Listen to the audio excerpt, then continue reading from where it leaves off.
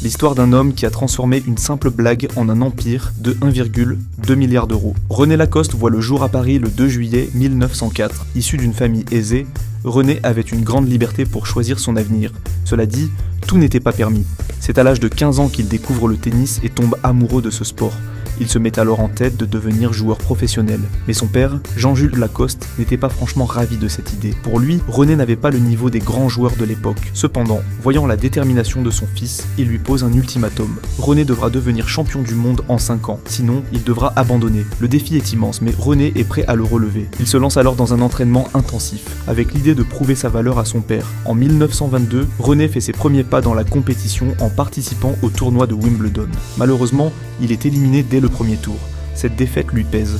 L'année suivante, il se rend aux États-Unis pour participer à un nouveau tournoi. Il atteint le quatrième tour, mais échoue de peu contre Cécile Campbell. Bien décidé à s'améliorer, René reprend l'entraînement avec encore plus de sérieux. En 1923, il est sélectionné pour rejoindre l'équipe française de Coupe Davis, aux côtés de Jean Borotra, Jacques Brugnon et Henri Cochet.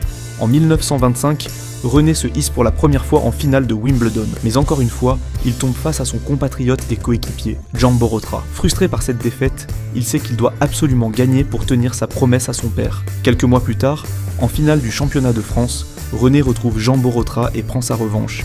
Il remporte la victoire, prouvant ainsi à son père qu'il est bel et bien un joueur digne de ce nom. Mais comment ce parcours de joueur de tennis a-t-il mené à la création de la marque Lacoste?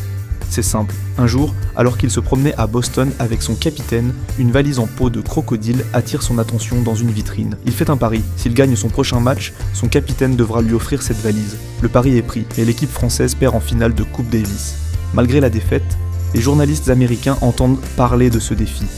René Lacoste et son pari insolite attirent alors tous les regards. Son style de jeu et sa persévérance leur inspirent un surnom, le crocodile. Ce surnom colle à la peau de René, symbolisant sa ténacité et sa capacité à ne jamais abandonner. Ce surnom traverse l'Atlantique et René s'en empare pleinement. Il y voit un écho à sa propre personnalité. Un jour, son ami Robert Georges dessine un crocodile qu'il fait broder sur la veste de René.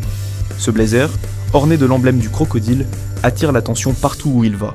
Pendant des années, René Lacoste porte fièrement ce blazer, mais ce n'est qu'en 1933 que l'idée de lancer la marque Lacoste voit le jour. Pourquoi avoir attendu si longtemps? Parce qu'après des années à jouer dans des chemises inconfortables, longues et mal adaptées, René a eu une idée révolutionnaire.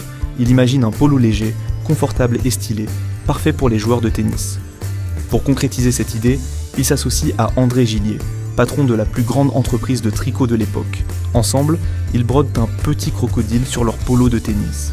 Lors de son prochain match, René enfile ce nouveau modèle et l'effet est immédiat. Le succès est instantané ce qui n'était qu'une idée se transforme rapidement en un véritable business, avec une explosion des ventes, surtout dans les années 70 aux États-Unis.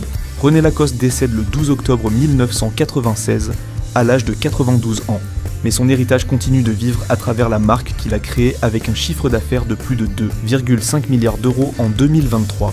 Il n'a pas seulement lancé une ligne de vêtements, il a laissé une empreinte indélébile dans le monde du sport et de la mode.